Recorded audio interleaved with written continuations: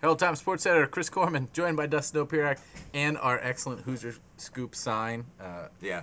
this is personally crafted by Stu Moon. One Stuart Moon. It is. These are each. He wrote each of these with a marker. Incredible, incredible work. That's a lot of genius right there. Dustin, I am going to need you to not be yourself tonight. I need you to be direct and quick because we have spent two days gathering information on IU football. We must deliver it all to these people. We will have no rambling. I might as well walk away now and just let you talk. Well, tell me uh, the key takeaway from Media Day on the IU side. Uh, I mean, it's a lot of stuff. I guess we've heard before. Uh, to be honest, I guess there's there's actually more confidence. I guess in certain parts. He's gonna, do, they- he's gonna do this, isn't he? He's standing back there. Yeah, he's standing back here. He's gonna holding it, by the way. Stu's holding Okay. it up. He's that proud of his creation. Go. Uh, but I think um, if if there's an interesting part of it, it's that this team at least claims to be more confident in, its- in its defense than well most of us would expect, considering they're uh, getting rid of you know they're, they're losing eight starters from a defense that wasn't obviously very good uh, to begin with. Either was it ninth or was it tenth in total defense in the Big Ten last year? Not Tenth. Was it tenth? Yes. Okay. Michigan was the only team that was worse. It was pretty rough. Uh, so, but Lynch comes into it and says he thinks the defense is a lot better than people give it credit for because he thinks there's better depth. There's obviously not a player like uh, a Jammie Kirlew or even a Greg Middleton or even a you know Ray Fisher in, in the secondary, but what he thinks he has is more depth, he- especially even in the secondary, which was a major problem last year. And It's been a major problem for years. was a major years. problem for years and years. And they They've, had they've had two over- corners who could play, and then Right. you know, and two safeties Yeah. who were okay. Mhm. They always had injuries, and it just Right. from there.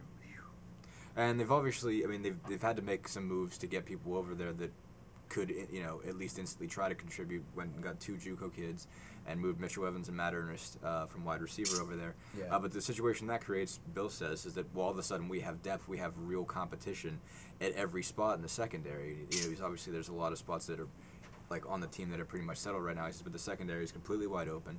Uh, you're going to have probably, you know, maybe 10 guys grand Right. total battling for, for time over there. Yeah. So The most feels like interesting thing I. I heard on the defense was uh, that a lot of what they are, are pinning their hopes to is that that there's a new attitude, which they also talked about last year. I, I should bring up, and and of Hmm. They course that's, always talk that's what this whole thing is is all about. It's all about hope, and uh, Hmm. but the attitude, uh, Bill Bill attributed to two people. One is Kevin Bush, who you wrote. Uh, one of the better profiles to appear Why, in this newspaper in a long time about uh, earlier this year.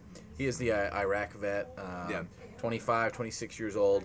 And Bill basically said, this guy, you know, how could you not follow his leadership? Yeah. How could you not Mm. respect him and, and uh, Mm. not have some of these same college kid doubts or Mm. college kid thoughts? So this is too hard. It's Right. been a bad day. Uh. How could you ever have any of those things? And how Mm. could you not want to go out and run through a wall when this Yeah. guy's already done Mm. uh, XXX? You know, Right. he's done all these things for uh, for his country, and, and these Mm. kids really respect that. And then Jeff Thomas, the other kid, uh, Yeah.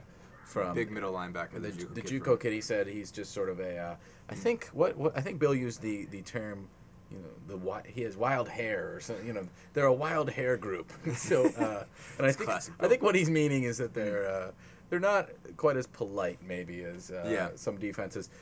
Um, the, that Indiana's had. They're guys Yeah. who, who are really going to get after it. Um, and, and so I'm interested to see how that plays out in, in Yeah. camp for the parts that I'm here for. Yeah, no, I, it- it's it, it will be interesting interesting to see in that way. Um, it was it was funny listening to him talk about Kevin Bush, especially at the uh, you know uh, alumni event that we went to on Monday night. He basically said we should give a shout out. To, we should give a shout out to Ed at Joe's Bar. Yeah, Ed at Joe's bar. it's a great bar. It I would. I would It's drink there bar. if I lived in Chicago. I would too.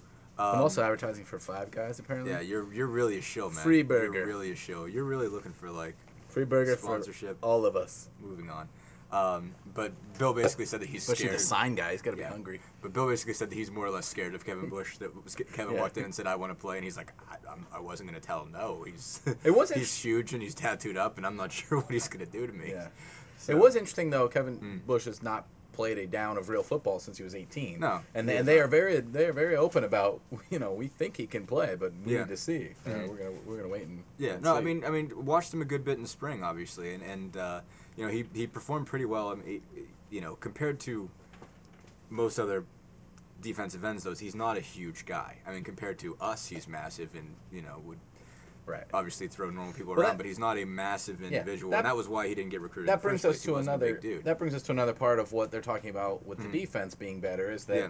they've now gone to this stand up uh, you know it's still bill explained it to some people it's, it's still 4-3 personnel Right, but one of the down linemen will not be a down lineman He will stand up. Yeah. uh, they will try to play three defensive tackles they'll probably Mhm. use adam Replogle on one of the ends he'll be Yeah. he'll he'll be he'll have his nose, be- nose to the ground because he's pretty tough but he has the ability to be outside Yeah. uh, and that gives IU in Bill's mind a chance to be a little bit more diverse on defense. Uh, Right. uh, throw different things at, at offenses. Um, Tyler Bogle told me he would- he would probably end up blitzing more. There'd be more stunning. Right. A little bit more of that. Uh, and they have some other guys who are these hybrid ends. Right, Darius Johnson. Oh. Right. Um, Eric is was it Eric or Terrence Thomas? Which Thomas is there, there's the two Thomases. there's Fred one, too. Well, Fred Jones. He's huge. Yeah, Fred Fred, Jones. Fred Jones is massive. Basically, Fred Jones is what they kind of look at as their typical Right. uh, prototype anchor uh, Yeah. defensive end. He's definitely going to have his hand in the ground. Um, but Darius Johnson, Kevin Bush, and uh, the smaller of the two Thomases, I think Terrence is the is the smaller one, are going to be the guys that are going to be stand up guys coming around that end. Right. Um, so that's kind of how, how they're going to be used, and, and yes, moving some tackles. Uh, Deontay Mack is another guy that would play like an anchor Right, defensive he'll end battle with. mm, with with Replogle and, and those type of guys will be kind of moved outside, but it does allow them, like you said, to be a lot more diverse with that. And you know, really, like Bill kind of said, there's sort of this there's sort of this divide between their defensive ends. They have a bunch of big dudes and have a bunch of smaller linebacker hybrid types, and they're trying to take advantage of of uh, that that Yeah. personnel. Al- Always a little skeptical when football coaches starting using using words like, "Oh, Mm. he's our hybrid guy." You know, we've really Right. changed this, uh, but we'll wait and see. You know, Yeah. I think it's worth Mm. worth giving a chance. He he compared the Mm. defense to Ohio State, uh, which obviously has done some really good things, but obviously has To what they use, not to what they right, are. Right, personnel know? that uh, really Yeah. fits.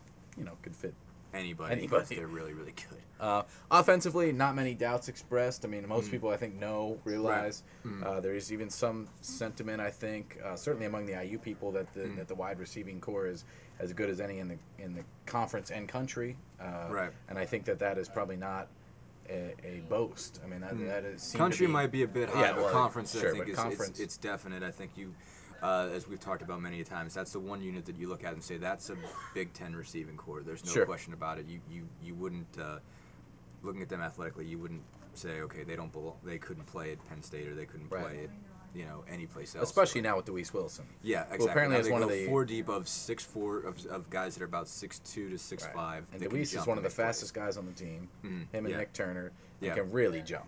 Yeah. Uh, can Oh, really, absolutely. really jump and has, has Mhm. good hands. Uh, Right.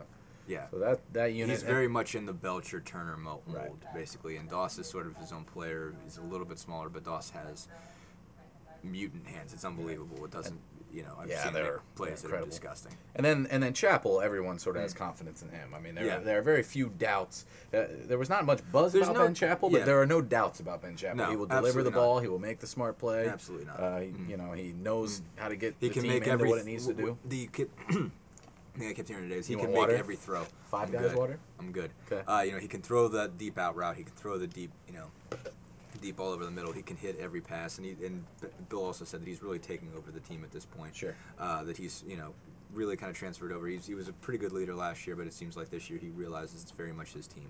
Okay. Uh, the issue offensively, if we could make this quick, obviously, is The issue is, yeah, you're rambling. the offensive line. Yo, I mean, sure. they still got to. I mean, you know, they're obviously replacing a, you know, the first pick in the second round of the NFL draft in Roger Saffold. They, they need to find either McDonald or Hager to take that over. And, uh, you know, there are some issues. I think at, at right guard, Cody Fal- Cody Faulkner has been injured for a very long time. There's some Yeah. guys that can play there, but that's still gonna be an issue. Young He's guys. confident in Matte. Uh, at center and and uh, Brewer at right tackle, and also Pagan is pretty much set up at left guard. But right guard and the left tackle positions, and left tackle being a major one, are stuff that's going to have to be uh, you know figured out pretty quick. Okay, take me through this week uh, for in, in, Uh, IU football. To make Quickly. it really really Go. fast, uh, Wednesday freshman and transfers report. Thursday, yeah, tomorrow or Thursday everybody else reports. Uh, we'll have some availability that day.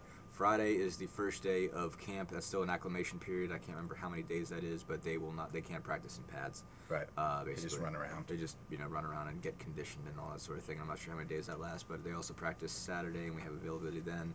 They practice Sunday. We don't have availability then. Uh, but you know, then once the acclimation period gets finished up, then they start hitting each other. Really get going. Mhm. Can't wait. Thank you for being here. Mm. We'll see you later. Thanks, Stu. You can exha- exhale now.